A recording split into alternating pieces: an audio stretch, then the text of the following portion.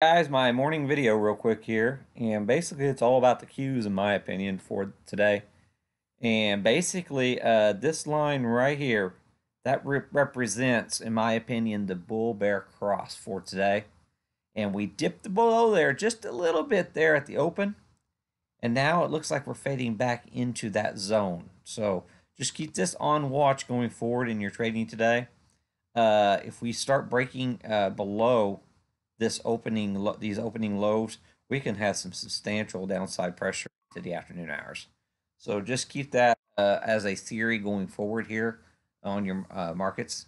And uh, basically, I'm leaning to think we're going to doji out right right near this line uh, for the day. We're going to put a pretty close to a doji situation uh, right on this uh, line. you know, going forward. Well, not necessarily a doji. Let's see here on the daily guess it wouldn't be a doji.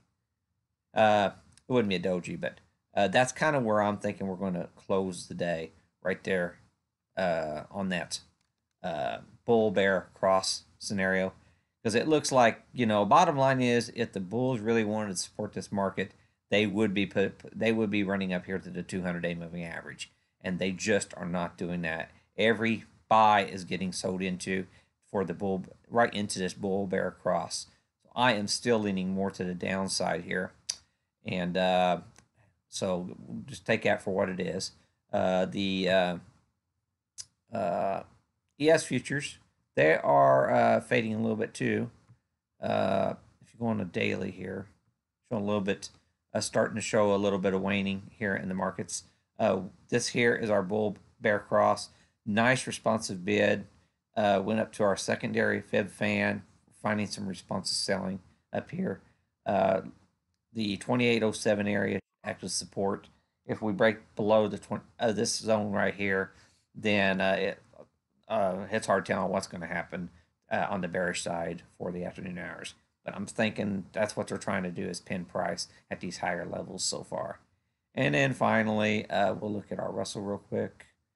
And uh, it's showing a lot of relative weakness. We are already rolling back over um, then there's no reason to think that we're not going to get back down to the 1321 area for today on the Russell. So weakness for that scenario. As far as my trades today, I started with, uh, let's see here. Uh, give me one second here. Okay, as far as my trades today, I started out of the gate with Facebook puts I thought right here, we were right into resistance, just right above this 100 SMA on our five minutes. I thought we were going to immediately get some rejection on the open, which we didn't do. So I lost about 20 bucks on the trade. We sat here and chopped around, and instead of just getting the big, uh, uh, for, uh you know, it held out there. And I also, right there at the open, I has actually initiated NVIDIA puts. Similar situation, into resistance right up here. So I started shorting it and hope for a breakdown of the 100 SMA, and it didn't happen. They're trying. They're still trying to support prices even at this point. Okay, so that was my first two trades for the day, and then I went in pretty heavily into Apple and uh, had a nice scalp for this morning. Uh, I had actually. Uh, uh, see here, one second. Okay, I had actually gotten into Apple before Mark even called it out this morning. Um, so, uh, you know, keep that in mind here. Uh, uh, see here, it'll be night. Uh, so I got in right here on this candle on Apple. I saw some relative strength in the middle of this candle here. We were trying to push out above these first, these other two candles above my 100 SMA. So I got in a little bit early there uh, thinking that candle was going to break out. And I didn't have to wait very long, and we started seeing responsive buying, and it was a nice little trade. I took her up to the to the uh, midline uh, for a nice little scalp. It doesn't look like much, but I went in in size, uh, especially after Mark started uh, pointing it out in the room. So I took some pretty good size for a nice little scalp, and that made uh, well a couple weeks income for me in size for that just little bitty scalp on Apple. I uh, knocked, locked in some pretty good gains for the day. And basically, we're this mid of uh, we can we're not even having enough strength to get back up to the to, to the next uh, uh, pivot point. That's the mid pivot point there. So uh, yeah, uh, very difficult to trade today uh, and to lock in quite a bit of gains, in my opinion.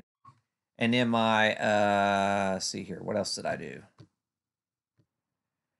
Okay, I got into Nvidia puts a second time. Uh, it was right about ten o'clock. Yeah, so I got in Nvidia puts right here, wouldn't you know it? And thinking we were about to roll over to the downside, and wouldn't you know it, it goes against me. Uh, I sat on it for a little while, and it came back in, and I managed. I think it it, it got called out in the room, uh, this about the same time that I sell, and I think you guys in the room bought my puts, and I managed to uh, uh, take a small hit on that trade. Uh, I didn't only have like two contracts, so it wasn't anything major.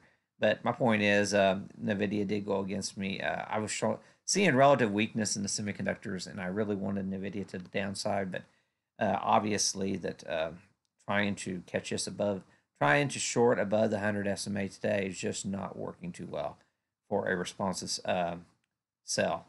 So unfortunately, that's not working. And then Baba, I broke it even on Baba. Um, that was a that was my last trade for the day, and uh, I actually got the moves that I wanted, but the implied volatilities kept getting crushed.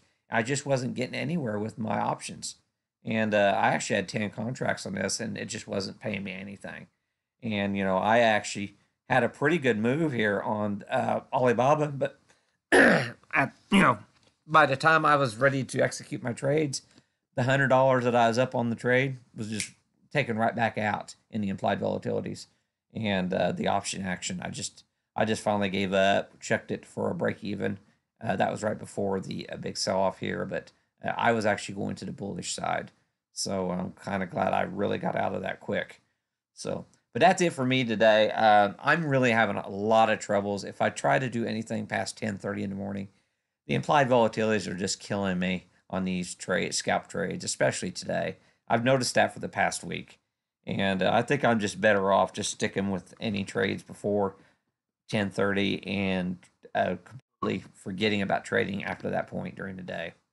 So uh, that's pretty much my day. Um, like I said, uh, it it's it seems to me like it's trying to fade to the downside, if anything. So going into hours, I would be looking more to the downside if you are trading this market. Good luck, and I will see you tomorrow. Oh yeah, if you uh, like the video, if you like it, leave comments and all that stuff.